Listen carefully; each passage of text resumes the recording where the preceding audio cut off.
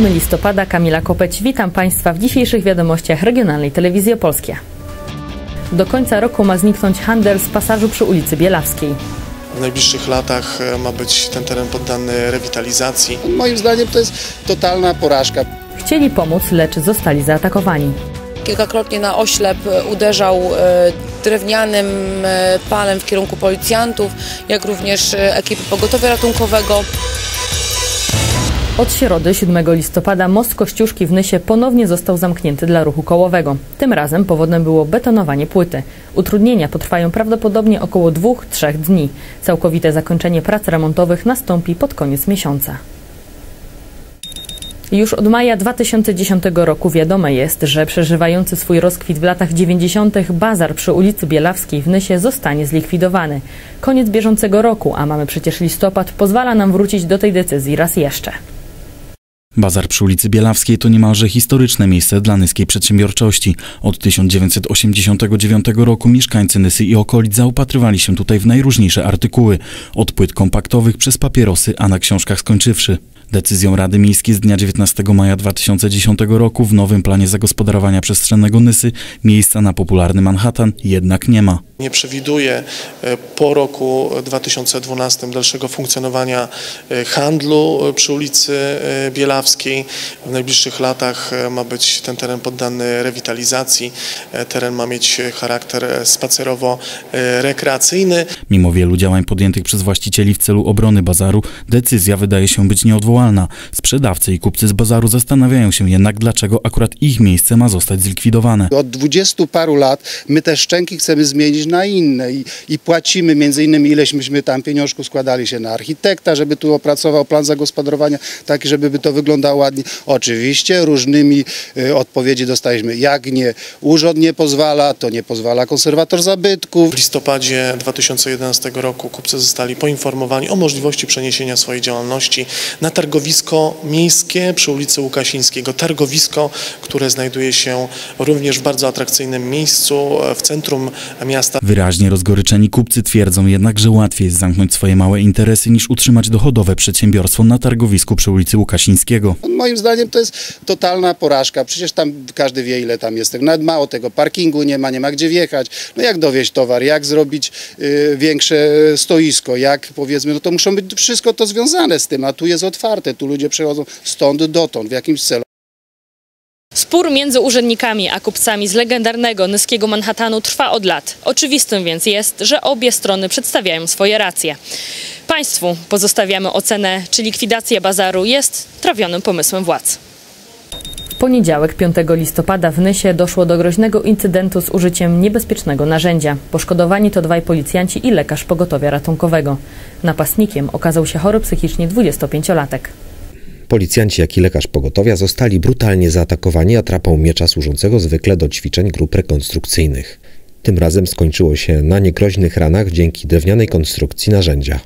Około godziny 6 oficer dyżurny policji e, w Nysie otrzymał zgłoszenie od dyspozytora pogotowia e, o tym, że pogotowie wyjeżdża e, do, do jednego z mieszkań w Nysie, do mężczyzny, prawdopodobnie niezrównoważonego psychicznie. Na miejsce wraz z patrolem do mieszkania wszedł lekarz pogotowia oraz sanitariusze. Po wejściu do mieszkania zostali zaatakowani. Kilkakrotnie na oślep uderzał drewnianym palem w kierunku policjantów, jak również e, ekipy pogotowia ratunkowego. Następnie wybiegł e, z mieszkania e, w nieznanym kierunku. Bardzo szybko został zatrzymany przez inny patrol policji na terenie klasztoru przy ulicy Franciszkańskiej, ale- Aleja Wojska Polskiego. Tam też został odizolowany, przekazany w asyście policjanta pogotowiu ratunkowemu. Następnie został e, również w asyście policjanta przewieziony do szpitala psychiatrycznego. E, w wyniku tego zdarzenia e, rannych zostało dwóch policjantów oraz lekarz pogotowia ratunkowego. W chwili obecnej ich życiu i zdrowiu żadnego, żadne, żadne bez, niebezpieczeństwo im nie zagraża. Policjantów zawieźliśmy na, tutaj na oddział ratunkowy do opatrzenia. Policjanci zostali po prostu zaatakowani przez pacjenta. Policja uratowała nam życie i być może zdrowie.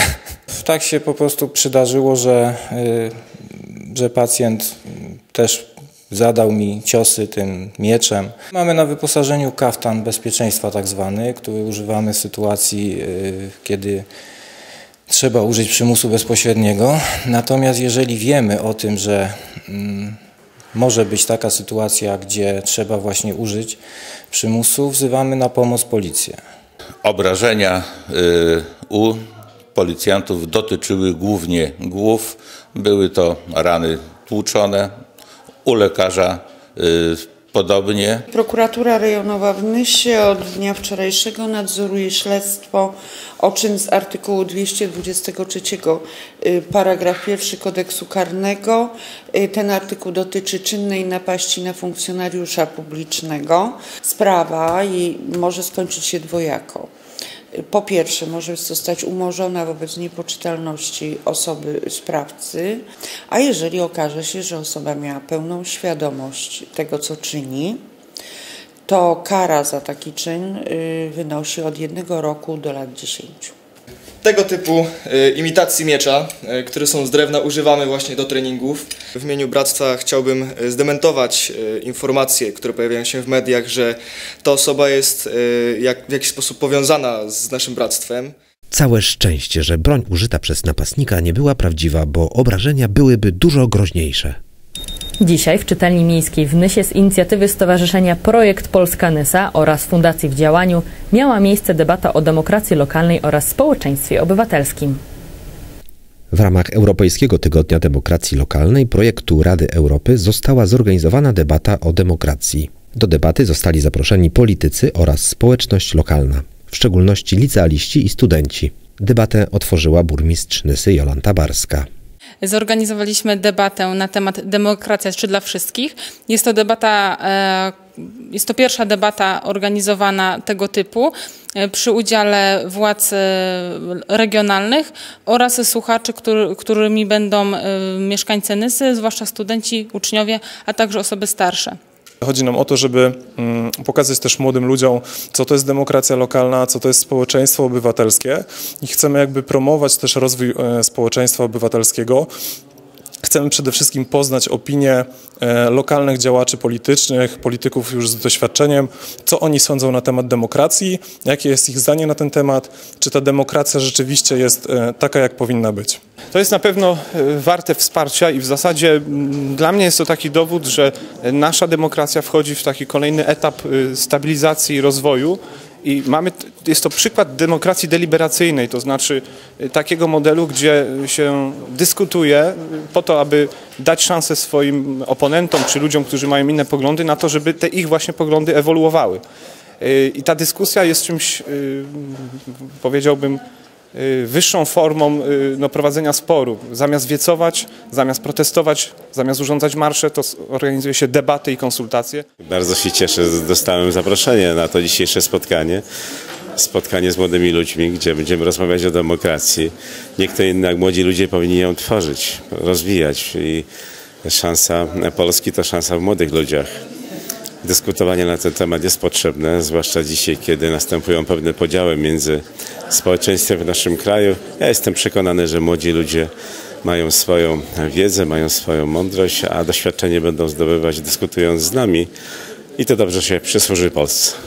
Podstawowe założenia znam, ale chciałabym się zagłębić w ten temat i na przykład chciałabym się dowiedzieć, żeby faktycznie przekonała mnie ta debata, że demokracja naprawdę istnieje i funkcjonuje w krajach europejskich i nie tylko, i poza granicami Europy. Okazuje się, że tylko dwa miejsca w Polsce podjęły taką inicjatywę w ramach Tygodnia Demokracji Katowice i Nysa. Stowarzyszenie Projekt Polska Nysa zapowiada kolejne debaty tego typu. To wszystko na dziś. Dziękuję za uwagę i zapraszam na kolejne wydanie wiadomości regionalnej telewizji opolskie w piątek 9 listopada. Do zobaczenia.